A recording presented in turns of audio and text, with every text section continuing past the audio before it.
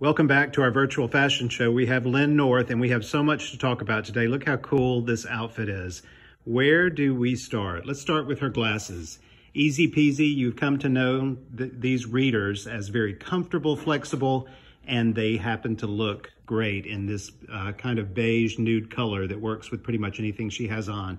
While we're here, let's talk about her earrings. Louise Abrams. They have just a little bit of sparkle, and but you could treat them like a gold hoop. And of course, her fabulous lock necklace with the Louis Vuitton lock.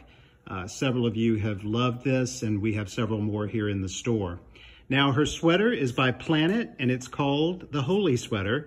And our theme today, basically, is a holy outfit because the sweater has some great holes. She has a little tank under it. It's got a cute peekaboo on the arm, but not too much. She paired it with these vegan pleather leggings by Planet. And look at that great color, that great gold color.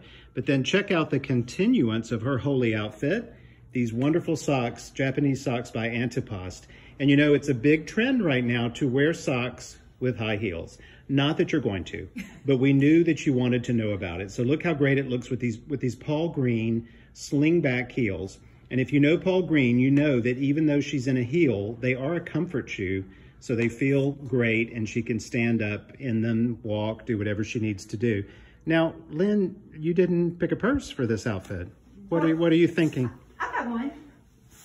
Okay. Well, uh, Lynn, Lynn, what do you think? Uh, I think you um, don't wear it very well. But anyway, the outfit looks great. and the blue purse is obviously still here. Save Simin. But we're so happy that we can be open and you can come and dress like this and live your life again here inside B. Prince. Have a great day.